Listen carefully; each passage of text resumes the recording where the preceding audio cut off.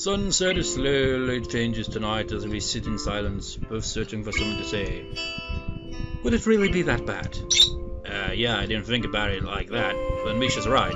Body set a mood and it would be a sad one. Sad body doesn't sound like a whole lot of fun. Why would it be sad? Is it a trick question? I'm sure of it. Shizune's eyes pierce into mine, waiting for an answer with a detached, analytical stare that I haven't seen in a while, but feels familiar anyway. I consider my answer carefully, but also what it means for her to ask me. It could be that Shizune finds it depressing as well, or it could be that she doesn't understand why anyone would find it depressing. Both are equally plausible. I had a thought that when you graduate, that's it. It's gonna be the end of the student council. I was wondering if you had the same idea. Don't be stupid. I look forward to it. I won't be a student anymore, so the expectations are going to be completely different. People's expectations of me and my expectations of everything else. It seems exciting. oh, it sounds exciting, does it, Shizune? Eh? You know, it's like, well, it seems like a typical thing people say, really. Just like with people, it's like, I can't wait to grow up and graduate from school and go around into the outer world and find out it's uh, really pretty disappointing. Shit! As for the student council, it should be in good enough hands. I don't have anything to be sad about. I don't think you're being honest. You looked upset about having to give the student council up not even a few weeks ago. It wasn't about leaving it to a bunch of newbies either. It was having to stop doing student council work at all. Unexpectedly, Shizune smiles. So you're not disagreeing? Then it doesn't make sense. Why would you want to have a party about it? I'm trying to get over it. Besides, goodbye celebrations are very important. People say the first step in the, is the most crucial, but following it through and finishing cleanly are just as important, right? I guess that is right. True, I mean. Anyway, I don't consider it goodbye, but it's still an event. You still have to go through the proper motions. Aren't you going to? Aren't I going to what? Kiss me, of course. Is that the proper motions? It would be normal, wouldn't it? The natural thing to do. It's time to act decisively. If I don't, I'm sure my heart will explode. I kiss her immediately, so quickly that I don't even have time to enjoy it, even though she was prepared for it. Shizune blushes a deep red. I feel similar heat rising in my neck and cheeks. They're gonna getting on in the student Oh, I didn't do the high pitch bit there. Did it?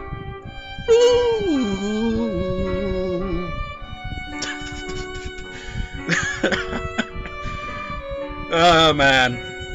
Look at the way Hisao's ass sticks out there. How distracting.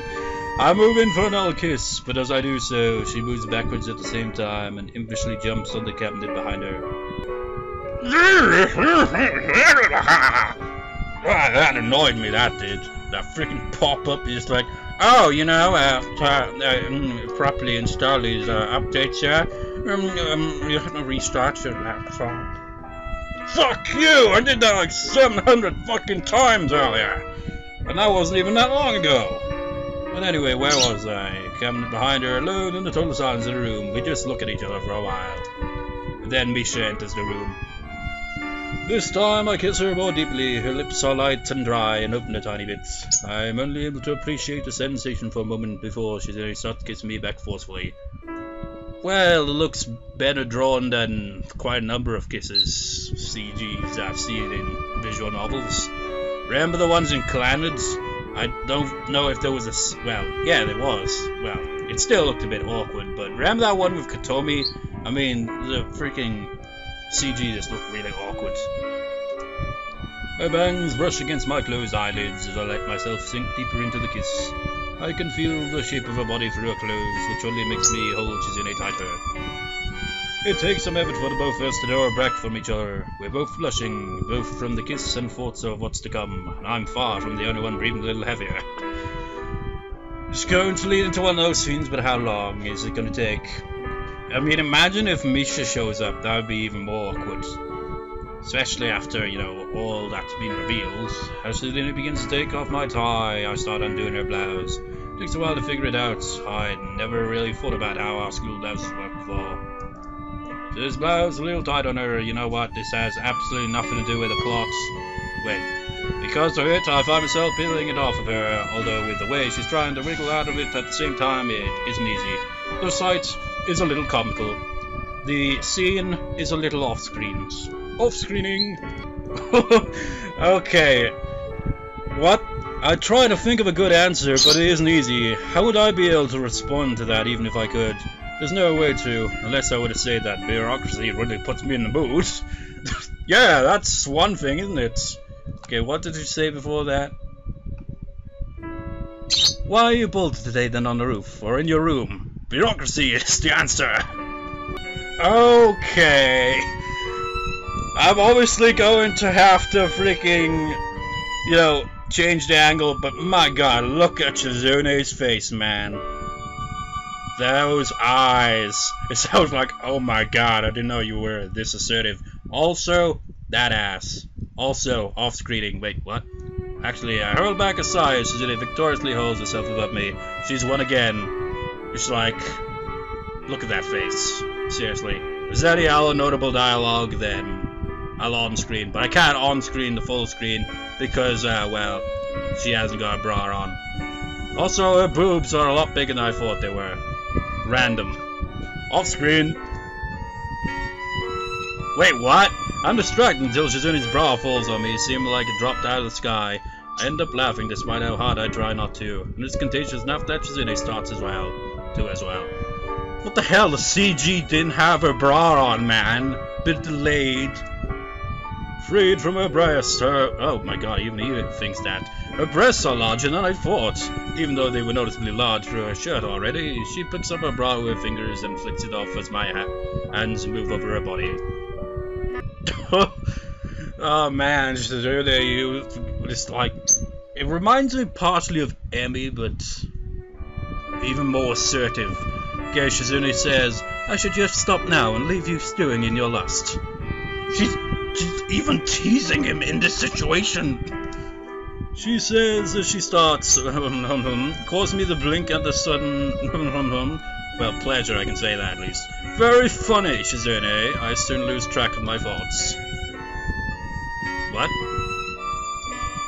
Shizune bites her lip to muffle her voice from coming out, an unwanted voice. It's the most I've ever heard of it, and she blushes once she realizes she let it slip out. So again, even though she's deaf, she can, you know, make, you know, sounds. I wonder if someone who is actually, you know, deaf, like born deaf, can actually learn to, you know, speak. I wonder if that's even possible, because they can make noise, but they can't speak. I mean, they wouldn't be able to understand that, really, would they? I wonder if it's possible for that. I don't know. To cover it up, City drives herself against me harder, causing me to jolt against her, driving my... I thrust my hips towards her at the sudden sensation of movement, and Shizune fights against me, trying interruption. You know, it's moments like that that I feel glad that I don't freaking record at the laptop. Wait, at the desk. Because it would be facing in a way that when my dad opened the door there to just hand over this random Solero here, he would just be like, well, he wouldn't say a thing, really.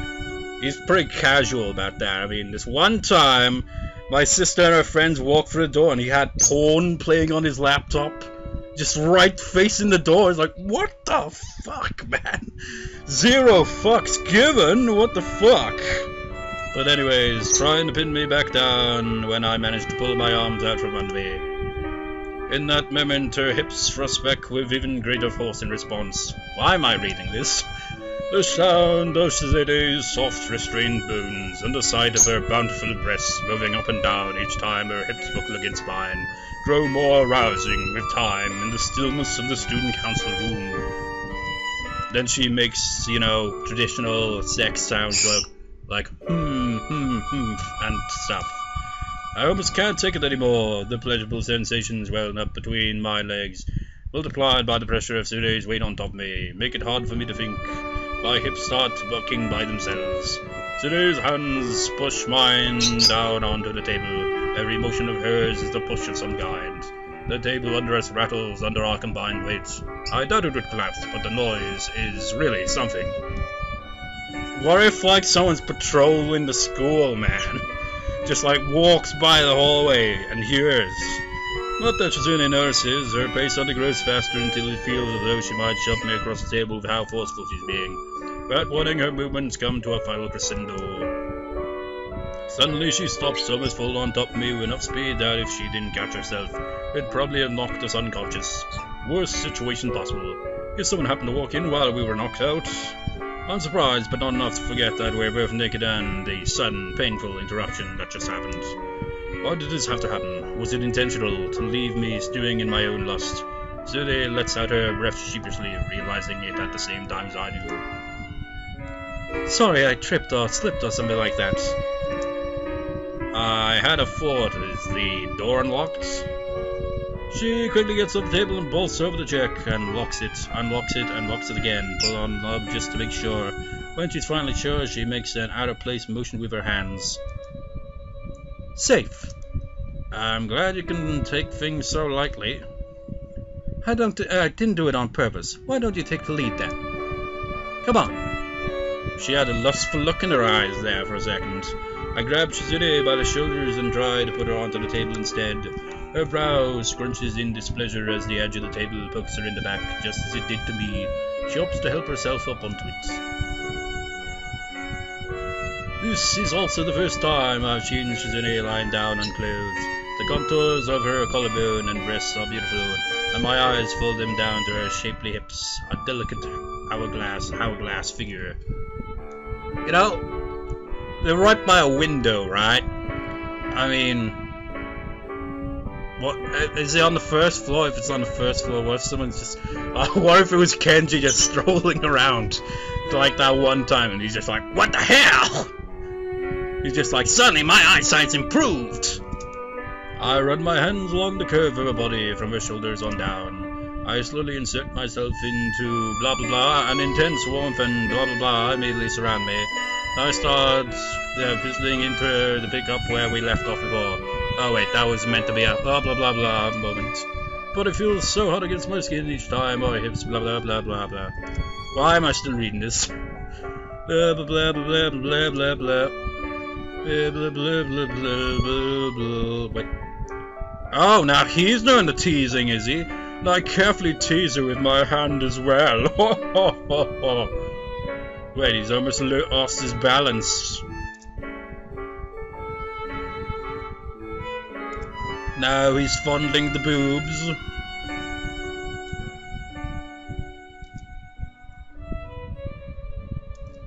Blah blah blah blah blah blah blah blah blah blah blah blah blah blah blah blah blah all too soon. Ah, the music ends as well as the feeling. The feeling ends. All I can do afterwards is stay blah blah blah blah blah blah blah blah blah blah holding hands or something table, both for lack of energy and because blah blah blah blah blah blah. For Shizune's part, she smiles almost dreamily. The sight makes me smile as well. Her legs slowly fall, allowing me to extract myself. I mean, blah blah blah blah blah. Exhausted, I lean back against the desk and try to regain my breath before putting my clothes back on. I notice a dull, hot throbbing in my chest as I button my shirt back up. It puts a bad aftertaste on everything that just happened. It was a lucky break that Misha couldn't be here, wasn't it? What? You're in an unusually joking mood today. I wonder what she had to do. Zune traces the air lazily with a finger and points to the door. Go see for yourself. Why don't you just tell me? It's more interesting if you see for yourself. Seeing is believing. Sure, clever. Maybe I will. What about you? You gonna stay here all day? It's getting late.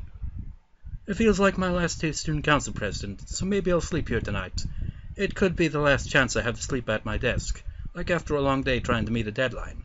Well, at least get changed. That's weird. I'll sleep in my bed.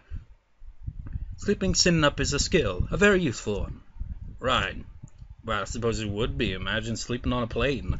For a moment after I leave the room, I actually do consider seeing what Misha is up to, just because she's in it made it sound so secretive, as if she were building a time machine or something, but in the end I decide not to. The night air is pleasant at this time of year. It's refreshing and a little humid, but not so chilly as to make it uncomfortable to stay outside for a while. It's late enough for the courtyard to be all but deserted too. After and I said our farewells to each other, I'd set out to return to my dormitory room. I didn't even make it all the way there, though, before getting distracted. It doesn't seem like a bad idea to go see what Misha's up to. I have nothing better to do, no homework, I'm not out, I'm out of anything worth reading. On top of that, I simply want to know. This is my first time being in the main building after hours, but usually it says I'm leaving the place with Zin and Misha after a long day at the student council, not entering, not entering alone. The atmosphere is quiet, a word I would not normally use to describe these halls. It's a little creepy. A light starts flickering up ahead. Seems like a horror movie moment waiting to happen. Feeling a hand on my shoulder, I stiffen reflectively. It's not Misha, or else there uh, would be hand clamped over my eyes and a sing-song Guess Who accompanying them. So who is it? I hope it's not Kenji, or at least that it's someone I know, or this will take a turn for the weird. Oh, it's Shizune. Whoever it is quickly slips in front of me. It's Shizune. What are you doing here? I'm so relieved that I forget to sign it. Shizune puts a finger up to her lips. I guess even though she can't hear, she has some idea what loudness is, and can tell from my expression, and can, I mean, that I was being loud, and apparently being loud isn't a good thing right now. But then, why is Misha her interpreter? Oh, very funny. Why are you here? I was waiting for you to come here, uh, come see. I know you would. I knew you would show up. It took you a while, though. You've been waiting here? Yes, but that isn't important. We have to be stealthy if we don't want Misha to detect us. Tell me if I'm not being stealthy enough, okay? With that, Shizune starts slowly tiptoeing through the middle of the hall. I pat her on the shoulder to get her attention. That's not stealthy. Why do we have to be stealthy? She refused to answer, probably because signing and walking stealthily at the same time doesn't look easy. Before I know it, we're in front of our homeroom.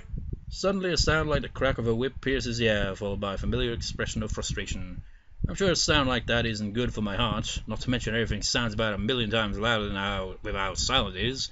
Come from inside the room, and I settle up to Shizune to get a look inside. Huh? What? Can you stop throwing your pencil, please? How do you even throw a pencil that loudly? What? Oh my god, I just realized this is the first and possibly even only, for all I know, CG with Mutou in there. He looks very flustered. What understatement. I sympathize with Mutou. I was able to hear Misha's pen break the sound barrier even through a wall and a thick classroom door. It probably blew out his eardrums and left an imprint on the wall. I'm not throwing it when, uh, uh, uh when, uh, when I get nervous. I let it spin around, but then if I got to hold on to it and doesn't matter. Either way, that doesn't. Uh, there shouldn't be pencils lying around. I get enough of that during regular school hours. I don't need it after hours. Uh, right, sorry. Whatever, just stop throwing, or releasing, or dropping these. Please. Teachers have work too. I notice Shizune watching the same scene I am. Mido is yelling at the top of his lungs, and Misha is being Misha. Okay, I should be speaking his lines louder then. I could hear them reasonably well through the door, but Shizune obviously can't hear anything at all, so I wonder what watching this is like for her. She must know, since she understands well enough to want to see it too. But I have to wonder if she ever feels like she's missing out on something, having to work that much harder to understand what she's observing. Looks like she is taking supplementary lessons, is she? Yep. I answered, despite knowing the question is completely rhetorical. Misha told me she really wants to be a sign language teacher in the future. If she can get a recommendation, she can study overseas for it. That's why she's working so hard. Grades were always kind of on the low side. Why is it always that, isn't it? You know, study overseas. Just like, you know, isn't Japan supposed to have really great education system? It's like, no, you have to go overseas for that. Now I feel guilty. I haven't even, uh, I haven't even thought about what I'm gonna do yet. Now have I. Cheerful way that she signs is very unlike her and is obviously false. Also, just remember the Solero, that's gonna freaking melt. Let's get out of here. We don't have to be seen. It would be a problem if we were caught standing out here like idiots. Where? Student council room? Again, shaking her head, she slips into the classroom across the hall instead. Great hiding place. Sarcasm. You're unusually sarcastic lately. With the door closed, it's a good one. Anyway, wasn't it interesting? Now, if it was me, you're saying you're unusually sarcastic today, I'd be like, what? or lately. It's like I'm always sarcastic, man. Well, not always, but you get the idea. Have a sarcastic sense of humor.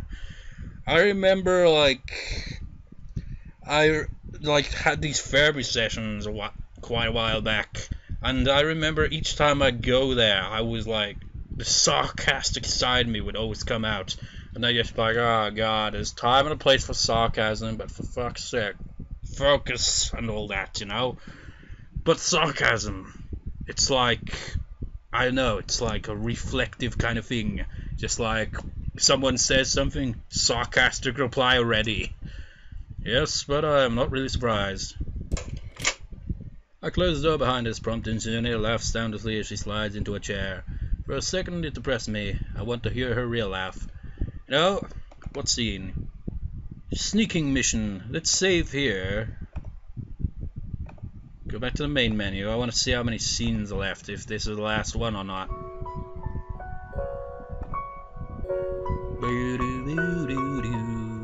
There's another one after this. Shit. Well, you know what? I'm gonna load. I'm gonna have the Solero, and I will be right back. Alright, let's continue.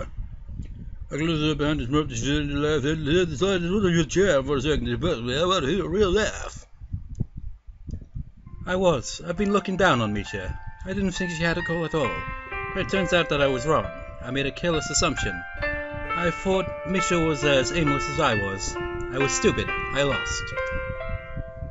Sune pauses to crack her knuckles, then folds her hands over each other and leans forward in her chair in the abnormal quiet of the building. I can hear Mutou yelling at Misha again, even across the hallway and through two doors. Shizune's eyes are locked on mine unblinking behind the gleaming lenses of her glass she's observing my reaction to her words.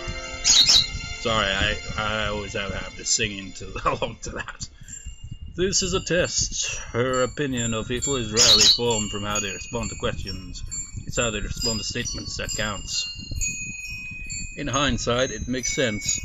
Sune's inability to speak, as well as just her personality in general, means that anything she says is a big commitment on her part. Everything. For that reason, I sometimes doubt she says anything without a hidden agenda behind it. That sounds remarkably paranoid. Even Kenji would think so. Unfortunately, I'm so caught up in thinking about it that I forget to give her an answer. She takes it as there not being one. There was an invisible time limit to this test, shorter than usual. Just as I thought. What do you mean? You don't agree. Not really, it's not that. I don't get it. I want to force my will on you. How refreshingly honest. Don't give me a weird look like that. It's not like that was always my intention. At first I was just bored. I wanted to see someone's passion for something, then I could try and beat them. I wanted to test their ability for their convictions. It was impossible. No one has any passion for anything in the school. They just want to keep to themselves. I can't believe it. It's too boring that way. I thought that there was no way these drab people could be for real. It goes beyond not wanting to make waves. They had to have some interest. They had to be hiding something. I want to expose it and reveal it and drag it out. One of the most successful ways to get people to open up to you and cheer them up is to open up with a story about yourself. Then you erase them, uh, ease them, I mean, into telling you about themselves. It's like give and take, but with an element of manipulation, which makes it interesting. I can't do that. If I attempt to have Misha talk about me, for me it makes me seem arrogant. The message has to go through a messenger. I'm standing next to Misha, telling her to tell someone about me. You don't have to be able to read sign language to see that. If I were forced to sit through that, I would think I was arrogant too. I was frustrated. I couldn't figure out a way to have a conversation with anyone but Misha. No one would open up to me. I came to the conclusion that I can't make people confide in me or believe in me. I can only hope to create things and show them to people, and hope they make them happy. Hoped uh, they make me happy. Or I could be more forceful and hope it would eventually stick to someone. I guess that would be me. Feels vaguely depressing. Somewhere along the line, I think I started to ignore Misha or see her as less of a person, or something like that. I took her for granted, I think would be the best way to put it. It was like she was just an extension of myself. I forgot that the whole time. Misha was there, opening up to me and giving a hundred percent every day. I missed what I was looking for because it was in plain sight. That was stupid of me. I really did become arrogant. That's why I've lost. I'm more short-sighted than I was back then. I went in reverse. She's pacing back and forth now, almost brooding, yet still filled with so much energy that she can't stand to stop moving. If you got her to hold two wires, I'm sure she's in a good power light bulb. It's odd that I could have such a light-hearted thought while she's being so serious. And in spite of that, Misha tells me that I'm her inspiration. Isn't that ridiculous? I'm not the kind of person who can inspire others. Even if a person who inspires you is flawed, it can be acceptable. I've thought about this. There is acceptable hypocrisy. For instance, if your hero, hero was an athlete but unsportsmanlike, they could still be respected for their athletic ability, even if they had shortcomings as a person. However, she snaps her fingers briskly. Sounds like a thunderclap in the empty room. And Shizune takes a few seconds to stretch her fingers. Come to think of it, this is the most she has ever signed. If someone like me has no goals, it would be totally unacceptable. It would be the worst kind of hypocrisy. And hypocrites don't deserve responsibility over anything. They can't even manage themselves. How incredibly pessimistic. It makes me angry to think about it. I would hate myself just a few months ago. This must be how I look to others. And funny enough, it was Shizune and Misha who convinced me to stop. Without them, I'm sure things would be much different, and not for the better. Lately, I feel as though we pass around our miseries as much as we're supported by each other, but I think it just comes with the territory of having friends and being close to someone. You're the leader anyway. That is only because no one else wants to be. But that means you still are, since people are putting their trust in you anyway. In fact, doesn't that make it more important?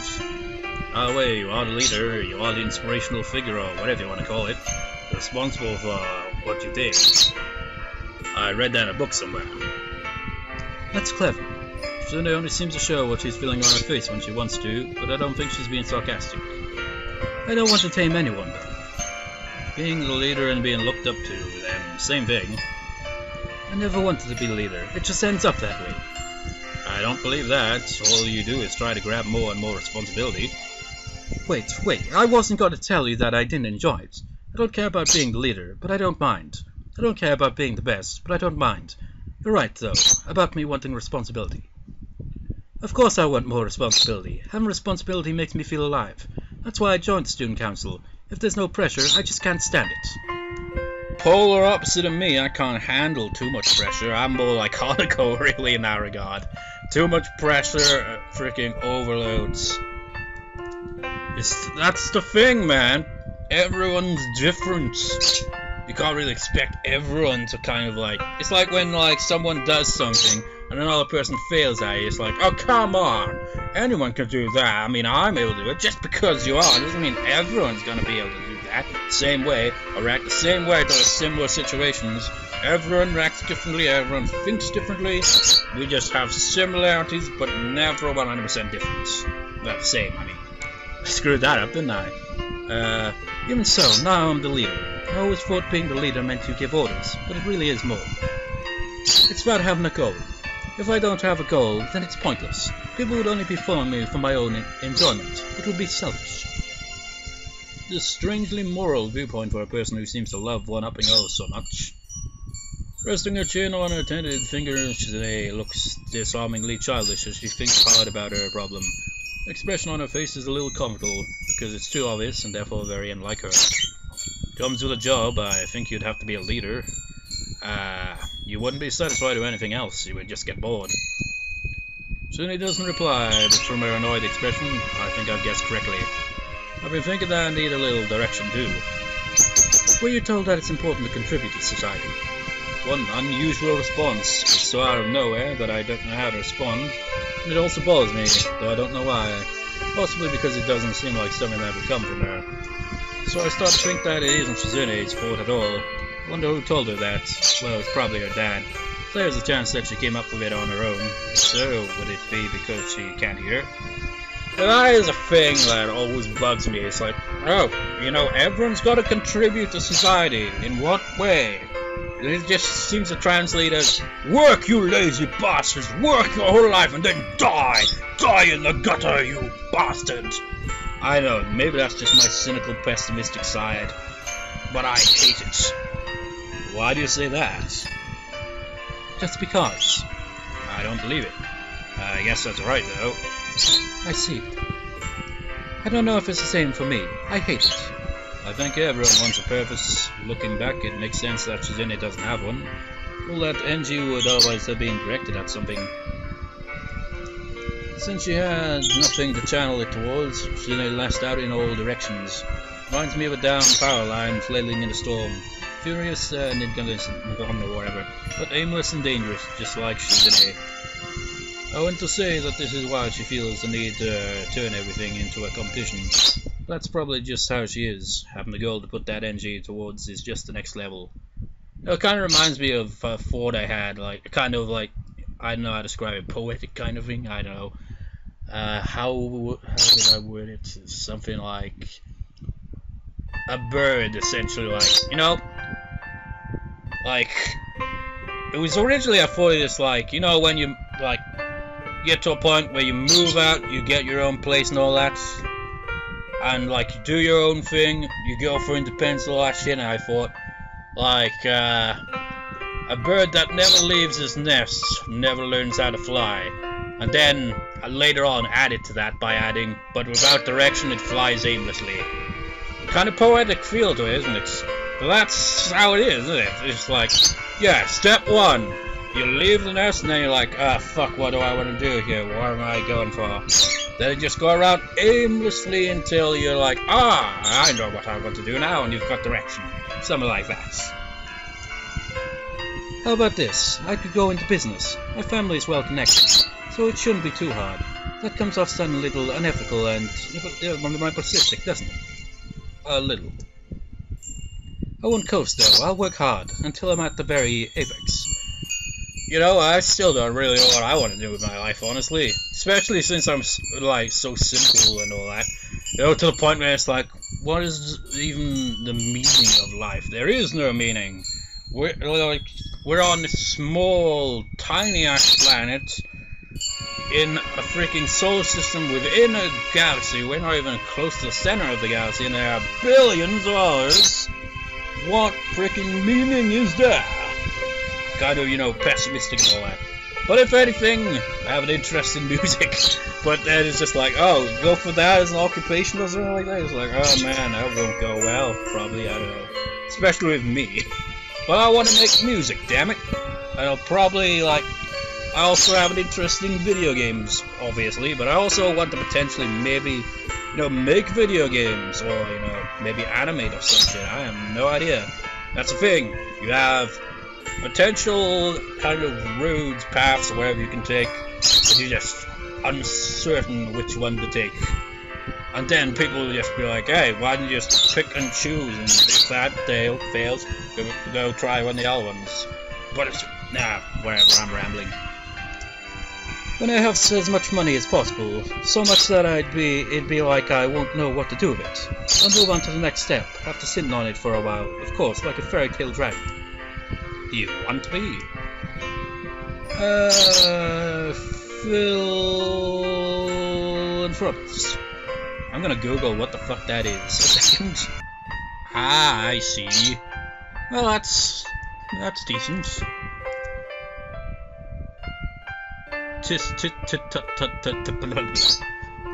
What what were you thinking? That I want to be a miser? Well, it's true. It is a part of the plan. Don't sell me short and stop there, though. You know, if I had a shit ton of money, I'd probably do the same thing. Not the miser thing. I was like, I'd probably just like, if I had a lot of money, I wouldn't keep it all to myself. I'd probably just donate. Because, well, why would you need to have a shit ton of money, really? Well, you could do a lot with a shit ton of money, but, you know, uh, loads of rich people tend to have so much money and they end up freaking doing drugs and having addictions and all that. and their life just kind of goes into a downward spiral from that point. So why keep that potential bomb of money where you just like got so much money that you could end up in a situation like that? I don't know. Shizune still looks uneasy. Of course, even if she did seem to resolve her problem quickly, no one can get over their anxieties that fast. No one can solve their problems that easily. The important thing is, it looks as though she has her heart set on trying. It's still hard to tell whether that drive of hers comes from a good or a bad place. But she has something to hold on to now. I can generally believe that she does. I'm happy for her. At the same time, I feel a little cold.